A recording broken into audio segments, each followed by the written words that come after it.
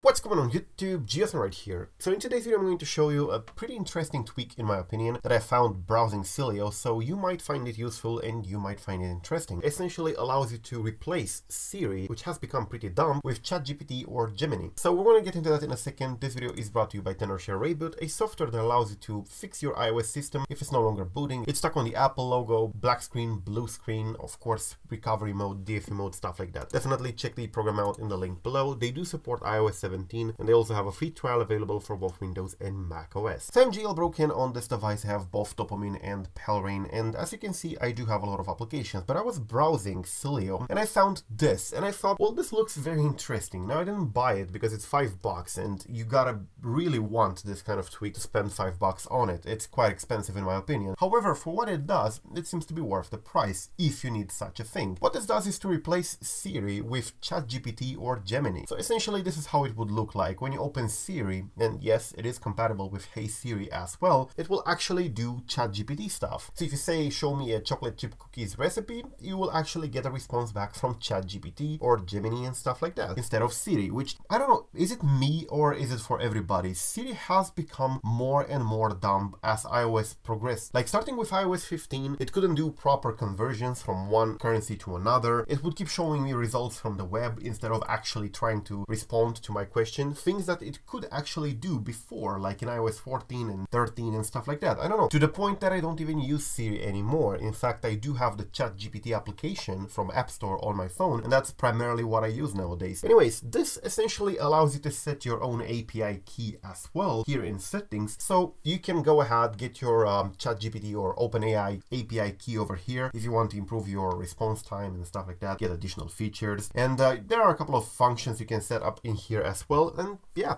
ChatGPT on your phone. You can also turn on these features over here, which allow you to open maps directly from this ChatGPT version of Siri, do phone calls, access contacts, add calendar entries, show the system info. I think there was a picture about that here. Yes, battery level and the iOS version and stuff like that, model number. Now, I don't know. As I said, I didn't buy this tweak because it's not exactly very useful to me personally. I use the ChatGPT application, but for those of you who do want to use Siri, and yeah, I see the appeal of, you know, just pressing a button and initiating the assistant, you can now do this. And yeah, as you can see here, the features are in here. It says apart from chatting with the AI, Siri Plus allows the AI to directly interact with your device. So opening applications, drafting emails, listing the system info. And yeah, you gotta know that the privacy and security are involved over here. All your interactions are sent through APIs to OpenAI or Google AI so that their uh, AI can process your request. So you should avoid asking sensitive information. You can find this tweak here on Havoc. It's available on the Havoc repo. It is part of featured. In my case, it may not be for you, but you can find this one, Siri Plus, on Havoc repo. So yeah, if you want to replace Siri with ChatGPT or Gemini, be my guest. There is a tweak now for that. Thank you for watching. I am GeoSn0w. Subscribe to stay updated and peace out.